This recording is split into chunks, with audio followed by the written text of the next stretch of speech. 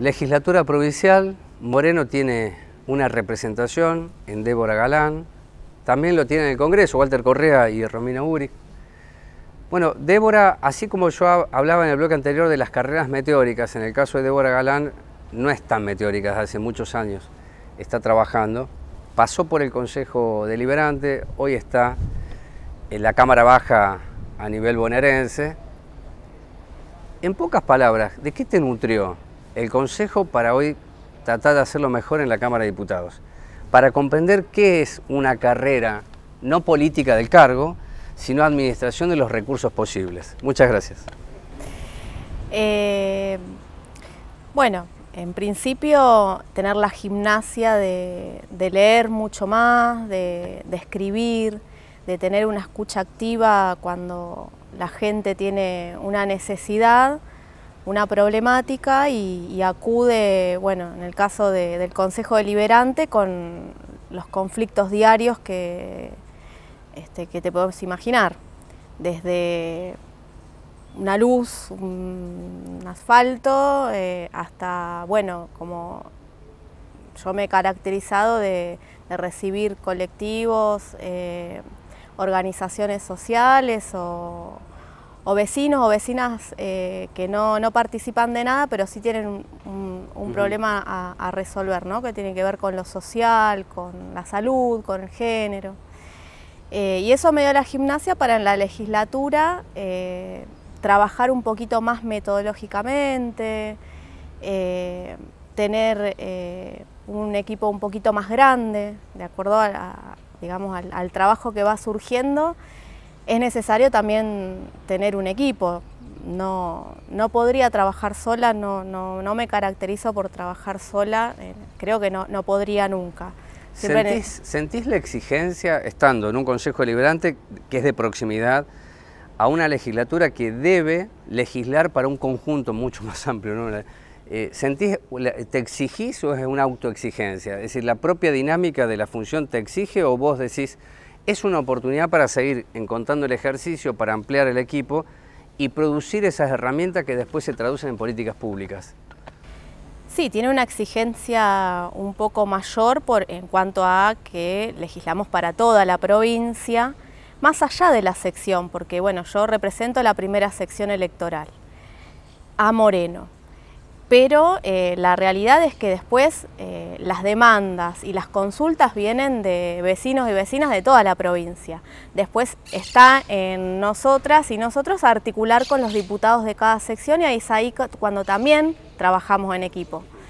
Pero además soy autoexigente. O sea, podría haber sido una concejala que eh, solamente iba algunos días de la semana. Testimonial. Claro. Eh, ser funcional a la escribanía, levantar la mano e irme a mi casa, o laburar con el ritmo que este, me suelo autoexigir, como hacía a mis compañeros y compañeras, porque todo, como te digo, todo lo hago en equipo. Y en la Cámara es de la misma manera. Eh, sí, bueno, lamentablemente eh, a pocos meses de haber asumido, bueno, nos atravesó como a todos y a todos la pandemia, eso hizo que por ahí no, no esté presencial de la forma en que me hubiera gustado en mi oficina de La Plata, pero sí virtualmente nosotros nos manejamos con una dinámica de presentar proyectos, eh, casi todas las semanas estamos presentando iniciativas, Obviamente hay iniciativas que se trabajan mucho más, que tiene que ver con el acompañamiento, eh, como lo hice siempre, de, instituciones, de organizaciones, eh, también declaraciones y proyectos de ley eh, que ameritan un poco más de trabajo. Ahora, por ejemplo, bueno, ahora antes de venir acá estaba chateando con unas mamás que están, me acercaron una iniciativa de este, páncreas artificiales para sus niños y niñas. Bueno, entonces vamos a tener una reunión con científicos que trabajan en, eh, en, la fabricación de, esos páncreas artificiales. Entonces todo es en equipo, ya sea propio o, los equipos que se acercan para trabajar. Esa es la dinámica de laburo que, que, me, puse como, como objetiva. Entenderán ustedes que la razón de esta nota y esta primera parte de la nota es que se va a elegir el 12 y luego en noviembre hombres y mujeres que van a ocupar cargos legislativos. Por eso les preguntaba a Débora, ¿cuál es el salto que se debe dar, ya desde lo personal, pero desde una mirada amplia de lo que es la política, estando en un Consejo Deliberante, que es proximidad a una legislatura en la provincia más importante del país? Bueno, ella lo definió bien. Desde ese lugar, integra también el Consejo de la Magistratura, y cuando bajo de ahí a Moreno digo juzgado de familias, departamento judicial. Porque si no, no se comprende cuál es la razón de exigir más justicia si a veces no tenemos ni siquiera lo básico. Les recuerdo que en la primera parte de este programa, lo decía Juan Ciucio, hace dos semanas llegamos a cubrir las 40 cuadrículas que la policía debe mm, eh, recorrer para que usted sienta algo de seguridad. Bueno, pensemos un poco más, o el otro estadio para la seguridad, que es si la justicia es justa. ¿Y ahí cómo estamos? ¿Y qué es lo que puedes hacer? ¿Qué es lo que estás viendo? Porque además sos abogada. Que es un tema muy sensible y a veces totalmente invisibilizado. Y que tiene un impacto directo en la población que es notable, pero sin embargo no lo podemos analizar, no lo podemos problematizar. Bueno, en cuanto al departamento judicial, que este, cada vez tiene más demanda por la conflictividad de la población y de, eh, lo que tiene que ver con el fuero de familia, hace muchos años que venimos acompañando la lucha de las trabajadoras, los trabajadores, los reclamos de, magistrados y magistradas, del Colegio de Abogados y Abogadas. Eh, por suerte me toca acompañar eh, desde finales del 19, desde la legislatura y desde el Consejo de la Magistratura, que eso me da quizás un rol un, lugar un poco más activo. Eh, antes acompañaba, eh, bueno, desde el Consejo Deliberante, que mucho no podíamos hacer, y, bueno, con la organización que llevan adelante mis compañeras, eh, con matices, pero bueno, en este caso estamos impulsando en la Cámara de Diputados... que se cumpla lo que está votado. Sí. Pues esto es muy importante, ya está votado era eh, esencial, palabra que la pandemia impuso, era esencial que Moreno tenga más juzgados de familias. Sí, eh, la realidad es que se necesita llegar a seis por la cantidad de población. Bueno, eh, como sabemos tenemos un tercero hace este, un tiempo, pero bueno, no, no, cubre, no cubre la necesidad.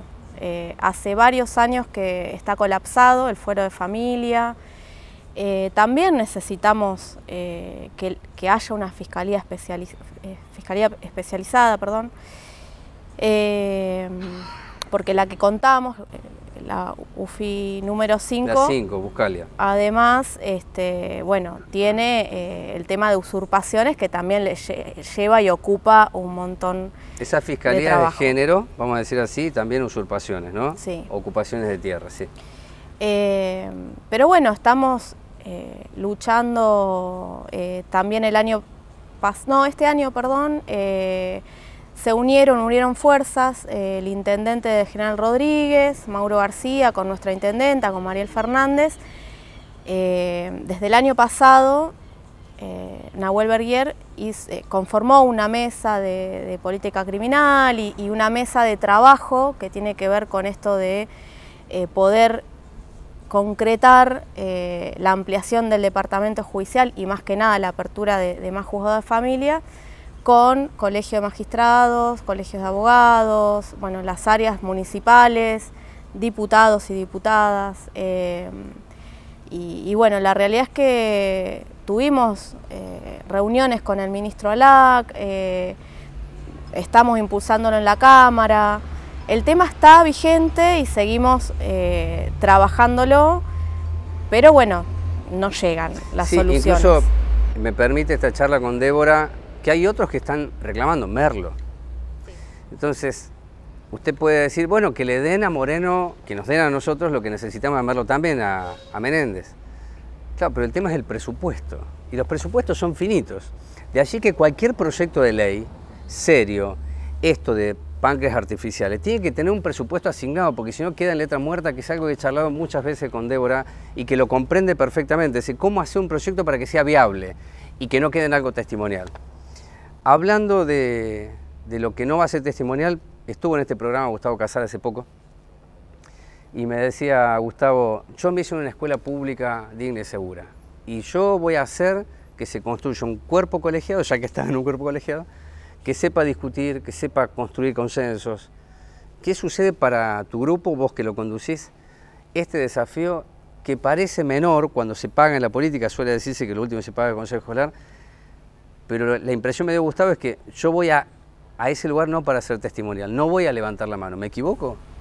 No, no, para nada. Eh, Esa es la impresión que me dio, después charlando con él también, por supuesto, ¿no? Sí, fue eh, el tema de, su candidatura, fue un tema de, discusión dentro de nuestra organización, donde, bueno, eh, cuando supe que teníamos un lugar, fue, fueron consultados todos y todas mis compañeras para, para que, bueno, para que sea un, un espacio a, a ocupar un espacio desde el origen de consenso y de debate. Todos y todas coincidimos con que eh, era merecedor de ese lugar Gustavo Casal y entonces desde ese momento, bueno, construir ese proyecto político de consejero escolar y, pensando en un proyecto eh, dentro del, Consejo Escolar, ¿no? Y, siempre coincidimos en esto, de que si bien históricamente eh, esos lugares, eh, en esa partecita de la lista, bueno, el consejero se lo damos a fulano, a tal organización que viene hinchando. Es lo último que se paga, ¿no? Claro. ¿Escuchaste, no? Sí, sí. Eh, sí, porque también fue tema de debate este, cuando en otras épocas. Sí. Y nosotros consideramos que es un lugar hoy en día de relevancia, un lugar emblemático, no solo para Moreno, sino para todos los consejos escolares de la provincia. Eh, la última sesión de la Cámara de Diputados aprobamos la media sanción del proyecto de ley eh, de declarar el 2 de agosto como el Día en Defensa de la Escuela Pública Digna y Segura. Desde el 2 de agosto de 2018, los consejos escolares tienen una relevancia eh, mucho mayor a la que siempre tuvo. Y es que no vuelva a ocurrir nunca más lo que le ocurrió a Sandre Rubén, a Moreno, a la comunidad educativa. Ocurrió en Neuquén hace poco. Y ocurrió. Eh, en este caso fueron obreros, pero fueron personas que perdieron la vida cuando no deberían haberla perdido. Uno va a trabajar y lo último que debe perder es la vida. Eh, a veces perdemos la dignidad en algunos trabajos, pero nunca podemos esperar que una persona pierda la vida en un trabajo. Lo que me dijo Gustavo en esa charla, y como dos preguntas finales para, para obtener tu reflexión, es, la mejor rebeldía es un pueblo educado. Y yo creo que ahí hay que darle al Consejo Escolar la entidad que nunca tuvo. No es solamente el organismo que recepta o recibe fondos para reparar la canilla. Puede hacer mucho más eh, habría que leer qué se puede hacer. Y si no hay algo escrito, bueno, que se, haya, que se hagan leyes, pero el Consejo Escolar puede hacer mucho más de lo que históricamente vos viste que yo recibí, que era lo opaco, que también me lo dijo eh, Valeria Ferrer en este programa, y esto de la transparencia, es decir, bueno, le pongamos materia a la transparencia, hagámoslo porque estamos en posibilidad de hacerlo a partir de los asesinatos laborales de Rubén. Las escuelas tienen que ser las mejores y voy a decir siempre lo mismo, nada de parches. Si todos entendemos eso, sabremos qué es lo que no estamos permitiendo que pase nuevamente, si no puede ocurrir, dolorosamente. este país tiene antecedentes de tragedias que, yo me pregunto si no, no, no, aprendemos o ya somos así, ¿no? si queremos seguir por esa vía. Y creo que ustedes vienen planteando, vos y el equipo y Gustavo, están planteando, hagamos lo que tenemos que hacer, no seamos testimoniales. Abramos esto, pero encontrémonos con las comunidades también que sean parte de la construcción. Tal cual. Hay que hacer parte de la comunidad, eh, pero las comunidades también tienen que sentirse convocadas. Convocadas y atraídas. Eh, motivadas. Sí, claro. Eh, entonces también es un trabajo, va a ser, se viene haciendo, ¿no? Porque yo creo que hubo cambios positivos, significativos en este nuevo consejo escolar. Luego de una intervención muy larga, que bueno, no vamos a repasar, eh, ya hablamos un, poco de lo que pasó, pero creo que es en ese camino de transformación en el que Valeria, Gustavo y, bueno, si, tienen, tenemos la posibilidad de, eh, incorporar más consejeros escolares, bueno, van a, van a tener esa tarea de seguir en, ese proceso de, cambio de paradigma, de un consejo escolar, como veníamos hablando, a uno de transparencia, de debate, de estar activo en la comunidad y de intercambio, que haya un feedback entre la comunidad y, el consejo. Lo último es una, es una mirada como mujer, como dirigente política. Cuando escuchás a una piba Brenda, exponer dolorosamente su situación y una frase, que es lo que yo estoy buscando en el final con Débora, que nos conocemos hace tiempo, hemos charlado fuera de, cámara en varias oportunidades, esta frase, eh, Débora, que es, me hizo sentir la peor persona del mundo. ¿Qué está diciendo esa mujer? Esa piba de 22 años con su bebé en brazos, que la pude conocer también dolorosamente el día lunes. ¿Qué es lo que te pasa a vos, como mujer, como mujer de la política, como dirigente social, ¿qué te pasa? ¿Qué te genera? dónde te lleva eso? ¿No es una síntesis por lo que vienen batallando hace mucho tiempo eso que dijo esta pibita? No, bueno, esas son las, las frases y, los relatos que a, nosotras nos hacen eh, ese clic de decir o me quedo sentada en mi casa o salgo y con lo que tengo así fuera nada, salgo y combato eso que está ocurriendo a mi alrededor. No podemos quedarnos con las manos cruzadas cuando escuchas eh, una madre joven, eh, así no fuera madre, una mujer joven, una piba o, una mujer adulta, eh, porque eso que escuchás es, es culpa, ¿no? Es otra persona te, genera que, sientas culpa de algo que vos no tenés nada que ver.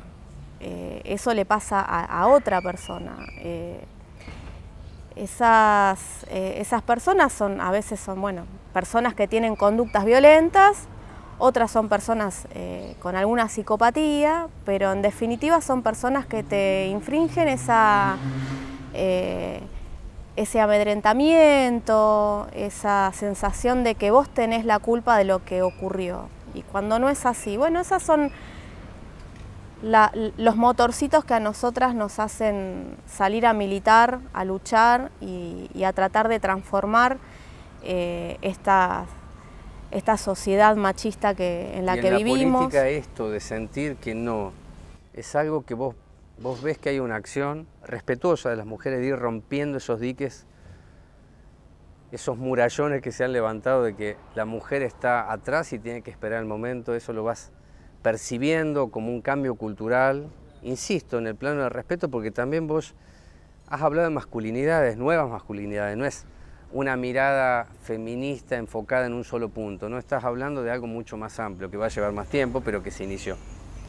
Sí, bueno, eh, eso de, hacernos sentir culpa pasa en cualquier ámbito, por eso nuestra ley integral eh, en el 2019 fue modificada y ahí incorporamos, eh, además del acoso callejero, como tipo y modalidad la violencia política. Y, son las mismas sensaciones, indicadores similares. Esto de, bueno, no, bueno, quizás yo lo que dije estuvo mal, eh, por ahí eh, él tiene razón y yo debería haberme callado o no debería haber hecho tal cosa porque eso generó un enojo de tal persona o esto de que eh, nos manden a, a decir cosas o nos manden a amenazar por terceros. La violencia política puede ser directa o indirecta. Claro. Con la persona que quiere infringir miedo o amedrentar o amenazar o por, a través de un tercero. Eh, la realidad es que sin a nosotras en la política es como que eh, el, entorno y el contexto nos hace pensar de que no tenemos que ponernos en el lugar de víctima porque si no eh, es como mal visto o no es no es ético, no sé cómo explicarlo, porque todavía lo estoy procesando, ¿no? Porque es algo relativamente nuevo que estamos empezando a expresar las, eh, las referentes o las dirigentes políticas pero hay como un sector de, eh, de compañeros y compañeras que dicen, no, bueno, está bien, la violencia política existe, la sufrimos, pero no nos tenemos que quedar en ese lugar de víctima, tenemos que salir. Y yo comparto, porque es lo mismo que nosotras sugerimos a las personas que, ayudamos, que asesoramos, que acompañamos. A través de matices, ¿no? También. A través de matices, a través de otras organizaciones. Pero si yo la estoy viviendo, si una compañera la está viviendo, le voy a decir, bueno, nena, dale, levantate, eh, secate las lágrimas y salí a la calle, que cada una tiene un proceso, diferente y hay que respetarlo. Pero lo primero que hay que hacer es visibilizarlo. Yo en el verano empecé a recibir amenazas a través de redes sociales, en la calle. Yo fui y hice la denuncia. ¿Sabes cuándo hice la denuncia? Justo el 8 de marzo. Y siempre fui una persona de nunca quedarme en el lugar. ¿Y esas amenazas simplemente? ¿qué, de amenazas qué tipo? Políticas, amenazas porque era un compañero eh, de una agrupación a la que yo pertenecía. Entonces, eh, tenía la opción de dejarlo pasar, como lo hice con muchas personas a lo largo de, toda mi militancia, o ponerle un límite. Y si yo le recomiendo a las mujeres, a las adolescentes que, que asesoramos, que nos vienen a pedir ayuda, que para poner un límite hay que hacer determinadas acciones, bueno, lo tuve que hacer. Y mis compañeras también me acompañaron en ese proceso compañeras eh, del municipio, eh, compañeras de otros espacios políticos, respetando ¿no? el, proceso de... El 8 de marzo. Ah, muy significativo, muy, simbólico. después de ahí, de hacer la denuncia, fui a acompañar a mis, eh, a mis compañeras como siempre, como todos los años, voy en el micro con ellas, voy y vuelvo en el micro. Pero fue fuerte porque nunca había hecho en mi vida una denuncia. Y la tuve que hacer por mí, para dar un ejemplo también, pero sobre todo para visibilizar. Eh, primero, registrar que, estamos atravesando una situación de violencia política. ¿Qué es esto? Reconocer que no solo es un, un, concepto escrito en una ley, sino que me está pasando, que me están diciendo cosas para que yo tenga miedo, para que deje de participar en, los espacios políticos. Eh, los tipos de la violencia pueden ser todos sufridos eh, dentro de la violencia política. Entonces, bueno, como te decía, es como que estamos atravesando un proceso de también nosotras reconocernos si la sufrimos o no, cómo acompañamos a, esas referentas, a esas dirigentes que lo están sufriendo de la mejor manera, porque además está también eh, la etiqueta de esta es una loca, mirá, eh, quiere hacer, quiere desprestigiar a tal candidato o a tal dirigente. Eh, es complejo el tema, pero sí se pudo empezar a hablar, se pudo poner en palabras y eso creo que es el, camino de, de, transformar también las formas de hacer política, pues estamos poniendo límites.